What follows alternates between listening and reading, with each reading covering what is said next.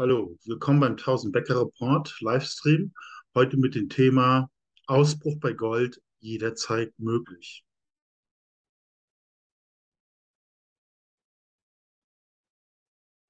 Disclaimer.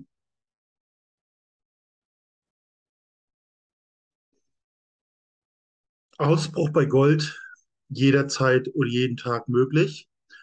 Ähm, so sehen es die Statisten oder einige. Äh, es handelt sich vermutlich um einen bullischen Keil von Gold, der massiv ausbrechen könnte. Das ist in der Vergangenheit schon oft passiert, sage ich mal, gerade solche Abverkaufswelle ähm, äh, hat dann dazu geführt, dass es dann äh, ein Niveau höher geht.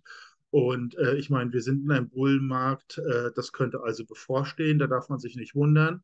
Ähm, das, es wird einfach viel Geld in die Hand genommen, um alle Leute rauszuschütteln ähm, dann muss im Grunde genommen diese, äh, Spekula diese Spekulanten müssen sich dann gegen den allgemeinen Trend machen. Das führt dann zu einer Eruption, die dann ähm, höher hinausgeht. Also das ist gut möglich. Äh, vorhersagen kann man das natürlich nicht, ist nur so eine Vermutung aufgrund der äh, alten Beachtung von diesen Keilen.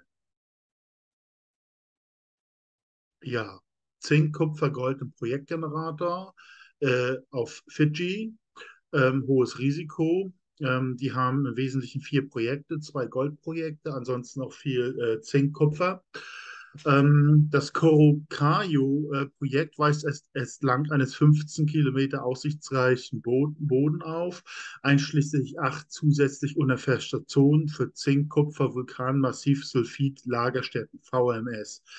Ähm, das Konzessionsgebiet umfasst 136 äh, Quadratkilometer. Äh, einige alte Bohrergebnisse, 12% Zink, 1,8% Kupfer, 25% Gramm pro Tonne Silber. Ähm, also relativ viel Zink ist dabei, gute Kupferwerte, äh, nied, nied, niedriggradiges Silber. Dann haben sie das Liva Gold-Silber-Projekt, umfasst vier hochgradige Goldverkommen, die entlang eines etwa drei Kilometer langen, von Nordosten nach Südwesten verlaufenden Strukturkorridors identif identifiziert worden. Das Liva-Grundstück befindet sich im südlichen Teil der größten Insel Fidschis, Viti Levu, und liegt etwa 50 Kilometer südöstlich von Nadi. Ähm, Liva ist Teil eines 148 Quadratkilometer großen Grundstücks, das 50 Kilometer südlich der Goldmine Vatukola liegt, die sieben Millionen Unzen produziert hat. Äh, das ist mehr oder weniger die berühmteste Mine auf Fidschi. Ähm, Bohr-Highlights hat sehr hohe Bohrergebnisse, 42 Gramm ähm, pro Tonne Gold äh, und äh, auch ein, ein Bohrloch mit 1205 Gramm pro Tonne Silber. Also da ist ähm, ein ganz schönes Potenzial auch noch auf diesen Projekten und dass sie im Prinzip auch noch gar nicht weiter angegangen haben. Hier nochmal ein Blick auf den Chart. Ähm, die ist aktuell auch ähm, gerade ausgebrochen. Äh, wie gesagt, es, es, hängt einfach damit zusammen, dass sie eben diese attraktiven Projekte haben, sehr hochgradiges Zink etc., äh, dass, äh, wenn der Markt besser ist, wird das mit einmal schlagartig bewertet. Das war eigentlich auch hier ähm, von der Corona-Krise an, stieg die hier, hier quasi von 0,025 Cent auf 0, ja, 0,2 fast. Ne? Und dann hat es mehr oder weniger die Gewinne wieder abgegeben, aber wir haben höheres Hoch, bricht aktuell aus. Also äh, ich denke mal, die Dynamik ist hoch, das sage ich mal, das alte Hoch äh, in den nächsten Wochen oder Monaten dann erreicht werden könnte. Und wenn es dann natürlich zu einer richtigen Rohstoff Gold äh, äh, ähm, Mania, also richtigen Anstieg, also Goldaktienanstieg kommt, dann sind natürlich noch ganz andere Bewertungen möglich. Ein Dollar und darüber hinaus, zwei, drei, werden wir sehen, wie hoch das dann geht.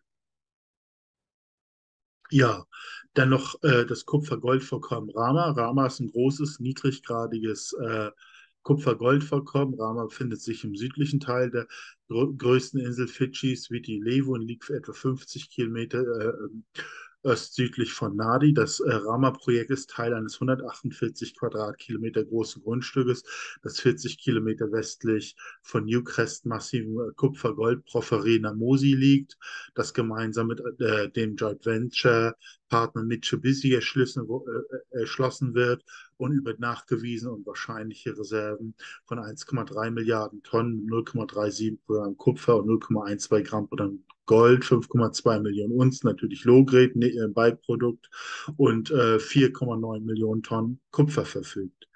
Ähm, dann haben sie noch das Narko-Zink-Kupfervorkommen. Das weist äh, Kupfer- und Zinkabschnell aus historischen Bohrungen mit vorher kurz entdeckten Oberflächenausprägungen sowie an einer tief und entdecktes Streichen offenen Mineralisierung aus.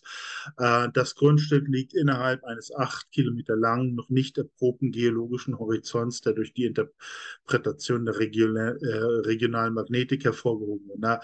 Na, Nakoro befindet sich in äh, derselben geologischen Einheit wie das äußerst vielversprechende VMS-Projekt Korukayu. Ähm, ja, äh, auch hier wieder, das Nakoro-Prospekt ist Teil eines 148 ähm, Kilometer großen Grundstücks, das 50 Kilometer südlich der äh, schon erwähnten Goldmine Watukolo liegt, die sieben Millionen Unzen Gold produziert hat. Also die haben sehr interessante Gebiete, sehr große Gebiete, und äh, das in, äh, in der Nähe einer, eines realen, profitablen Goldabbaus, äh, wo es auch eben diese Infrastruktur gibt, die die auch dann nutzen können. Ja, ähm, generell unsere Philosophie.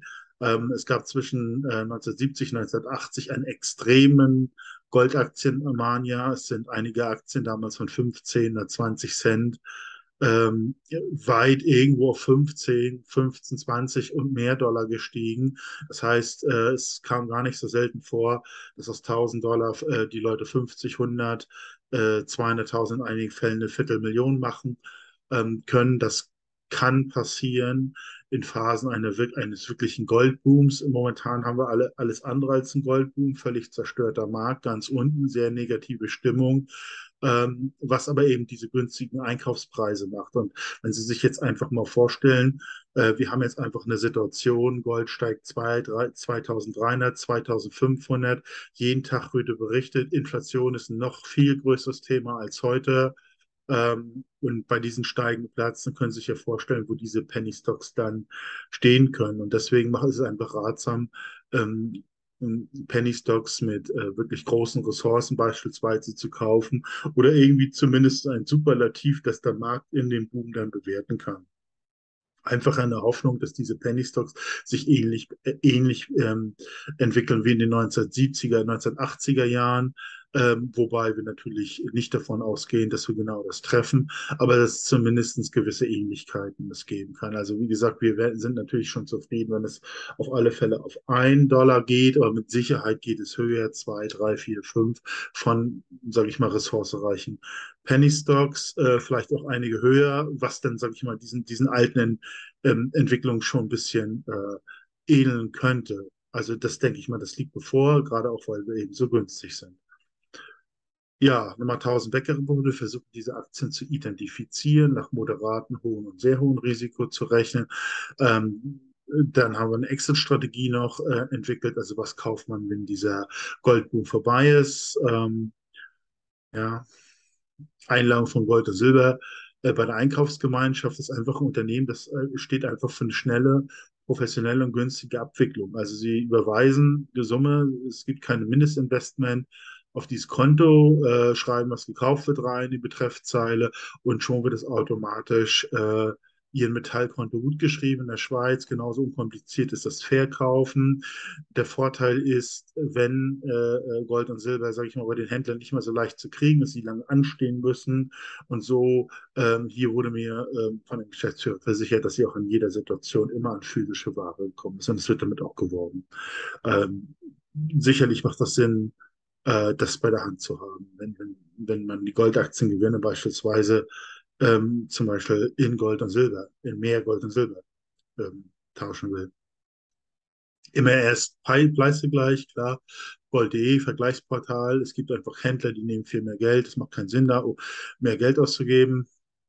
Ähm, weitere Informationen hier, mit welchem Broker können Sie in der EU arbeiten, welchem Broker in der Schweiz, ähm, weitere Informationen über Chart, Informationsquellen, hier auch eine Info zu unserem, äh, zum äh, Diskussionsforum, wo jede Mine im englischsprachigen Welt diskutiert wird, CO, CA, ist vielleicht ganz interessant, und weitere äh, Videos zu äh, für, verschiedener Spezialisten. Ähm, wenn Sie irgendwelche Fragen haben zum Protokoll, zur Philosophie, wie auch immer, einfach mich kontaktieren, äh, anrufen. Ich rufe Sie dann spätestens abends zurück. Ja, ich bedanke mich an dieser Stelle nochmal ganz herzlich für Ihre Aufmerksamkeit Ähm, würde Sie bitten, meinen Kanal zu abonnieren, wenn Ihnen das Thema äh, soweit gefallen hat. Ähm, ja, also nochmal besten Dank und bis zum nächsten Mal.